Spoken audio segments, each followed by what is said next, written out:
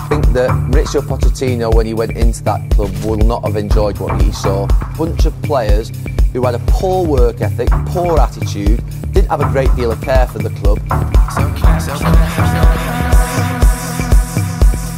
When you think of Mauricio Pochettino and what he did at Southampton, he inherited a really good bunch of players there, in talent and in work ethic.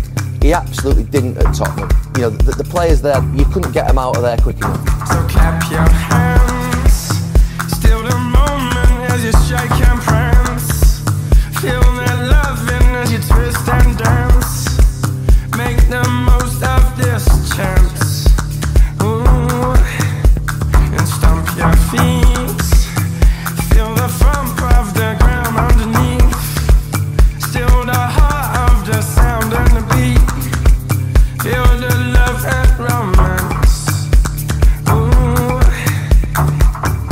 The average age now is 23, which is the youngest in the league.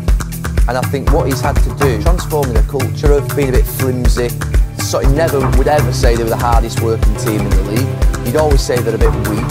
And he's trying to transform that.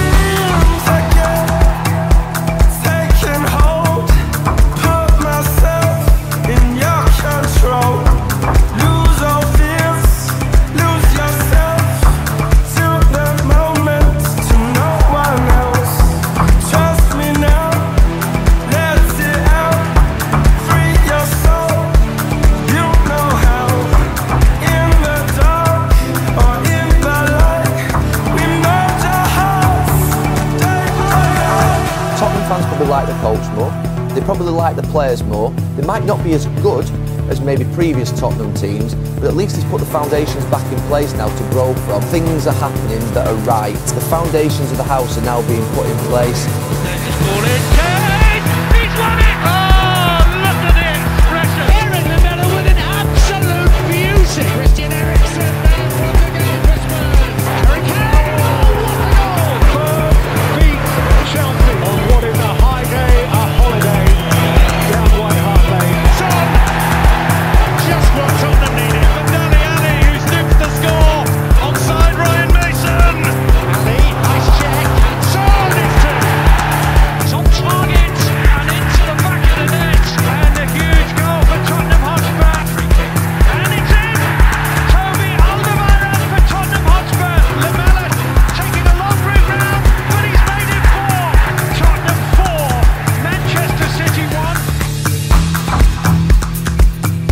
Happy because I think that I felt from our supporters that they love to keep working. This is very important. We have a brilliant squad. This is uh, another step.